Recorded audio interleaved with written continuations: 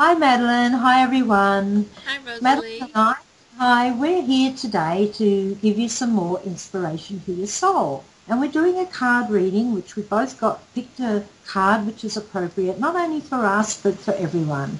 So I hope you'll enjoy. Would you like to start, Madalyn? Uh, why don't you read yours first this time? All right. Read okay. yours.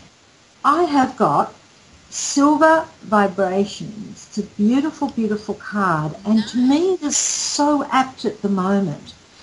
It's a fairly long message, but beautiful. Your vibration is being raised to a higher level. You may be feeling that you are in this world, but somehow not of this world. This is the magic of creation at work in your life. As silver starlight enters your aura, your energy field will become finer, giving you a stronger connection to your spirit and bringing greater purpose to your life. That's beautiful. What card deck is that from? I really like That, it. that is from the Spirit Oracle with uh, my favourite, my very favourite lady is Toni Carmine Oh, Salerno. she's pretty good, isn't she? She's I love all awesome. her cards. I recommend every one of her cards. I really do.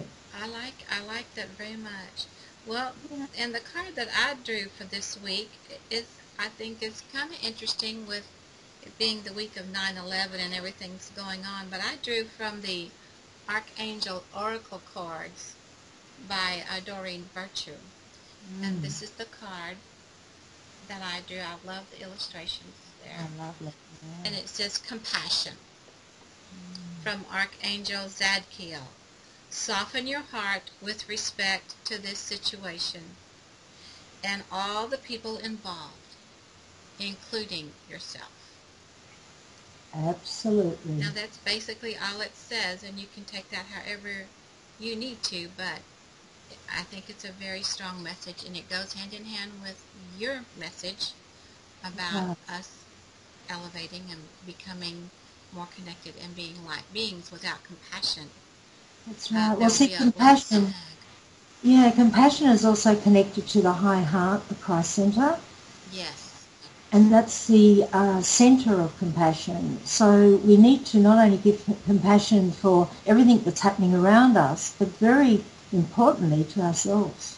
To ourselves, and it even says, including yourself. That's right. So that's that's wonderful. So thank you, Rosalie. I love you. Thank you, We love everybody, and we're so glad you're. We could do another video this week. I missed last week, and I think Rosalie might have too. So we Yeah. apologize for that, but you know we're we're trucking on. we sure are. Yeah, we Thanks. Heather. Thank. Okay, bye Bye. everyone.